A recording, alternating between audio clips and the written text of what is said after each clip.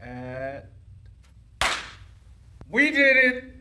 $15,000. We just made it. Thank you, board members. Thank you, staff. Thank you, friends, family, for helping us out. I think I think we can make this happen. Boost it up. Boost it up. Keep supporting. Thank you so much for supporting TLCS.